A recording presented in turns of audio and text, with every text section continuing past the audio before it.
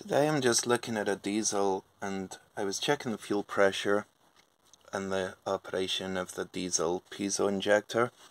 And what I realized is it's the polarity is not reversed by the ECU because I was led to believe in a piezo injector the ECU will switch on the injector so it can spray and do its thing and then it will reverse the polarity so the one that was the power now becomes the negative.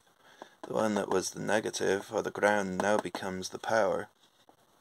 And that will allow the piezo to close.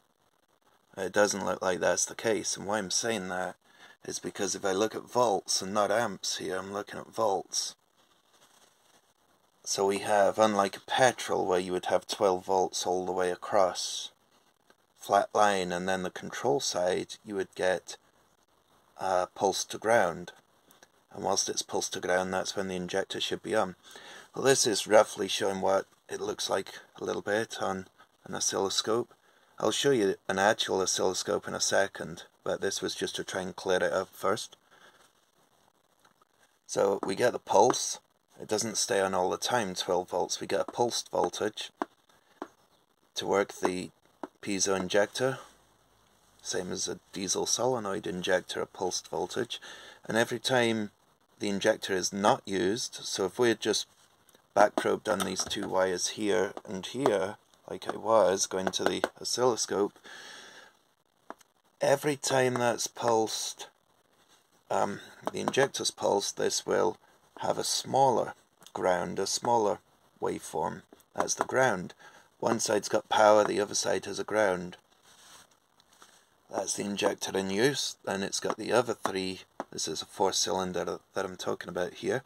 The other three cylinders have their turn. Power, power, power all the way along. But you get the same image on the ground with these ones. And then we get, when this injector that we're back probed on, when that's that one's turned to fire again, you get a small smaller sort of ground. Uh, it, it's not totally gone, it's very small things, so it's got some sort of almost like a um, background almost. You can see a little bit of voltage, but it's not, it's just how they work.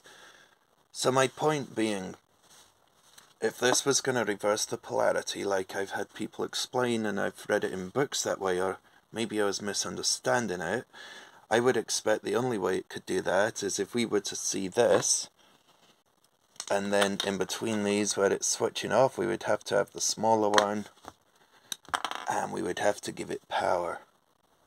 That way. So the power would come in, and it's being used up, so the ground is on that side. You know, that's the only way we're going to switch these. It's like if it wasn't an injector, say we changed it for a light bulb even, and I had a little light bulb that's lighting up and I've got power and a ground and that's going to the battery say or a fuse and that's on. If it's a circuit that light bulb comes on.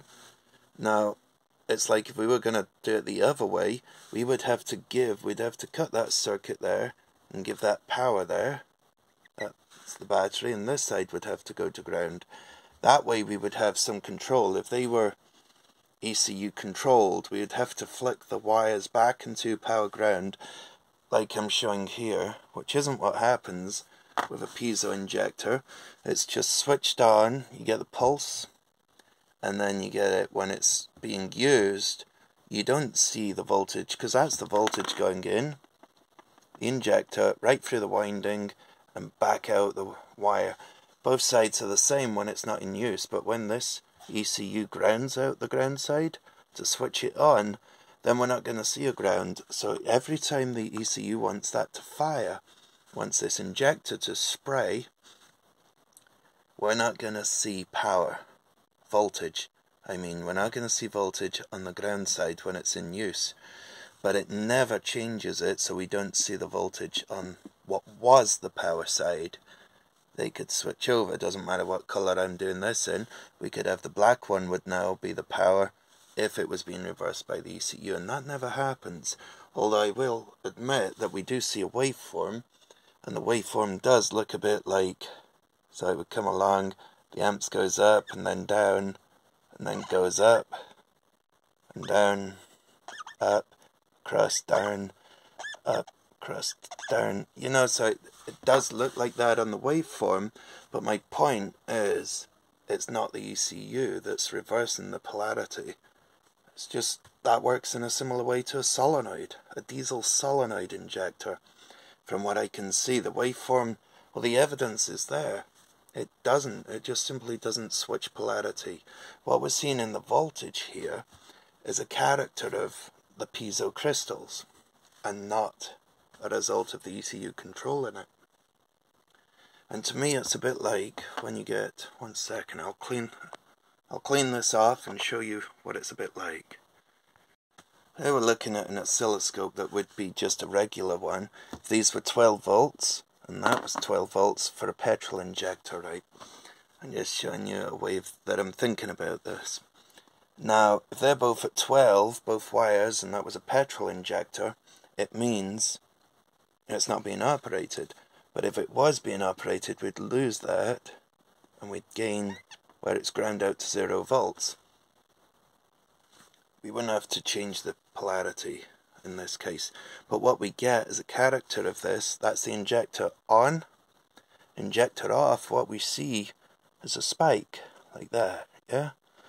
And then it comes down, let me move this, because we also see, we get the spike, and this is what I'm talking about, a character of it. This is a character of the coil, the coil uh, the height of the coil, the magnetic field.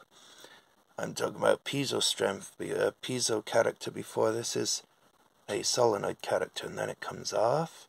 You see a little um, pintle hump that we've heard about pintle humps, right?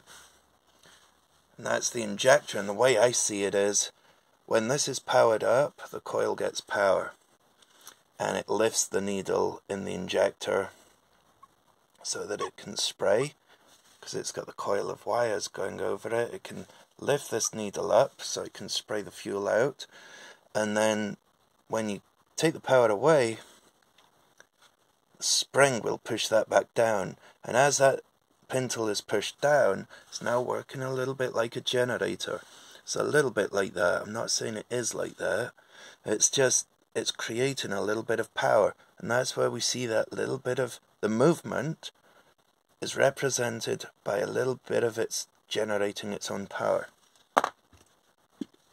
Now, I think that's what we're seeing with the piezo. It's just generating its own effect so that it was like that, goes across and goes like that, amps, amps, and then the next injector on, but it's not being reversed by the engine ECU, which is the main thing that I want this video. That's all it's about, a little bit of a thought. Piezo injectors.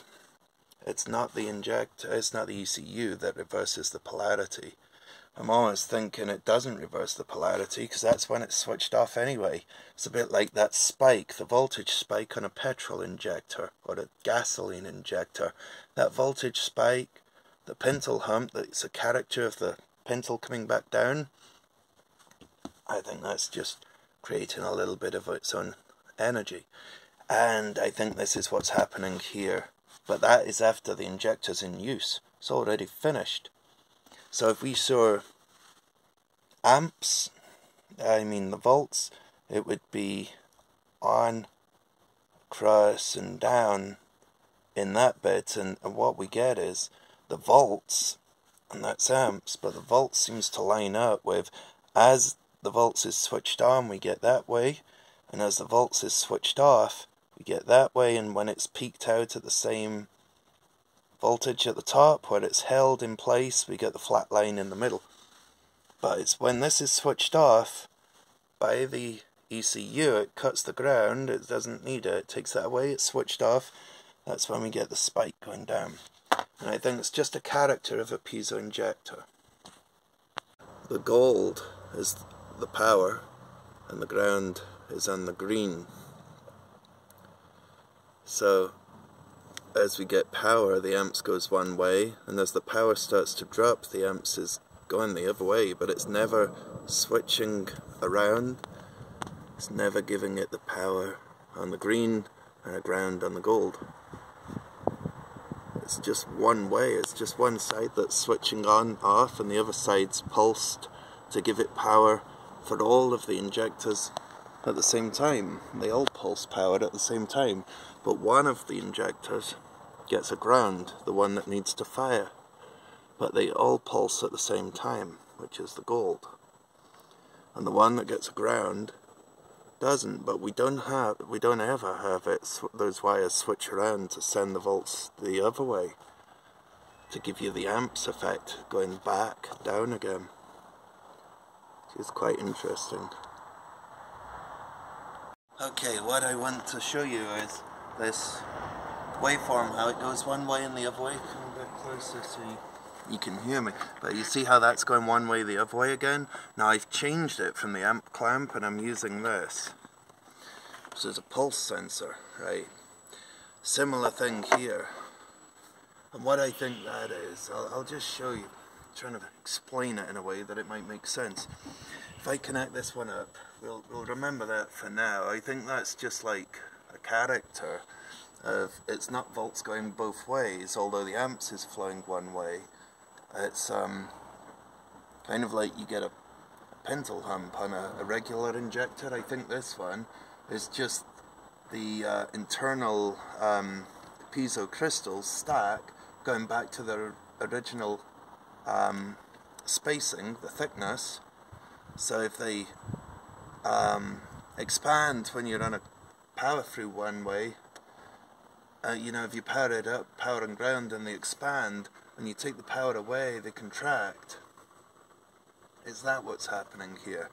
In the same way, you know, you can see it change the other way. In the same way, this one, if I was to switch this on, you get that pattern like that. But as it goes back, it goes one way. I'll do it again. See, it goes up one way and then down the other. But I'm only blowing them, not sucking on this as well. See there and there. So I think that's just the characters. These crystals go back to the usual state, which is what I'm seeing here. Because what, why I'm doing this video is you hear people saying the injectors on a piezo, they open the injector and it stays open until the current's reversed and goes the other way. And that's all controlled by the ECU, but it doesn't look like the ECU's controlling it at all. It's just power that's pulsed on all the injectors and one side is ground side control at a time on each injector and it never switches. So I don't think the, uh, the ECU or the engine computer is doing anything to reverse the current. I think the pattern is just a character of a piezo crystal and it's just opening and then shuts like a solenoid. And um, that's the only thing I can make sense out of this, and it's almost like a bit of a, a myth that it goes both ways. I can't see it doing that. The evidence isn't there in the voltage controlling it. So, if anybody's got a better way of explaining it, you know, I'm, I'm happy to read it in the comments because it's one of those confusing things.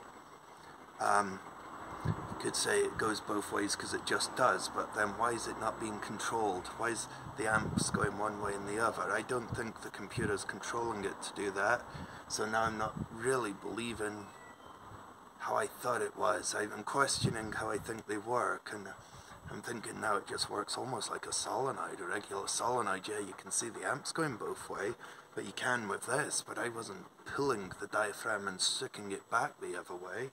And I don't think it was going like flexing one way, then flexing the other, like bouncing like a trampoline. It may have been a little bit, but I, I think mostly it was just going back to where it was. It just seems to be a character as uh, the crystals don't get power anymore. I, I, I, don't know. I just thought it was interesting, though. That was my point of this. Is I'm just questioning something. And um, thanks for watching.